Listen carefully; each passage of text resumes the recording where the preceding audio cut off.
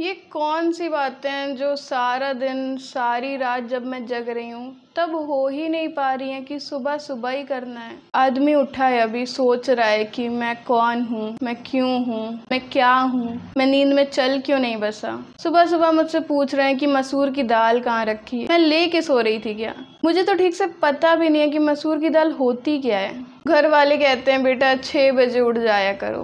मैं पाँच बजे सोने जाती हूँ, पर एक बार मैं छः बजे उठ गई और मैंने सोचा कि अब सो जाना चाहिए। मैं एक बार लॉन्ग डिस्टेंस रिलेशनशिप में थी, क्योंकि वो छः बजे उठ जाता था और मैं बारह बजे उठती थी। वो जब गुड मॉर्निंग बोलता था, मैं सोती रहती थी। मैं जब गुड मॉर्निंग बोलती थी, वो दोबारा सोने चला जाता था। बस मुझे एक ही बात का डर है कि अगर मेरे बच्चे मेरे ऊपर चले गए तो उन्हें पता ही नहीं होगा कि सूरज निकलता किधर से? है क्योंकि उन्होंने कभी देखा ही नहीं होगा। मॉर्निंग पर्सन की दिक्कत ये नहीं है कि वो मॉर्निंग पर्सन है। वो चाहते हैं कि सब मॉर्निंग पर्सन बने। भाई, मैंने तुमसे बोला है कभी कि तुम मेरी तरह बनो। मैंने कभी गांजा फर मुझे लगता है कि मॉर्निंग पर्सन अटेंशन सीकर्स होते हैं।